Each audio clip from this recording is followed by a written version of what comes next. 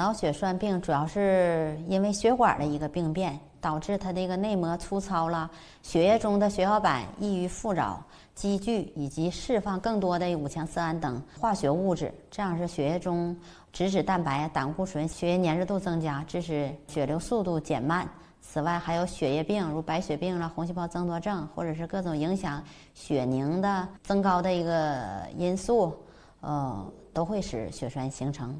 发生脑血栓形成多在安静或者睡眠中发病的，突然出现的一侧的上下肢麻木啊、无力啊、口眼歪斜啊、言语不清啊这些症状，甚至有的人还出现意识模糊了、记忆力下降、头晕等症状，有的人还可能会出现抽搐这些临床症状吧。根据时间来判断呢，时间必须掐切的，必须准确。假如说这个来一个患者，他来了，他半拉身子不好使了。你得就得问他，你几点开始发现的？他发现在时间窗之内。有的时候说我早上起来还挺好的，就在吃饭的时候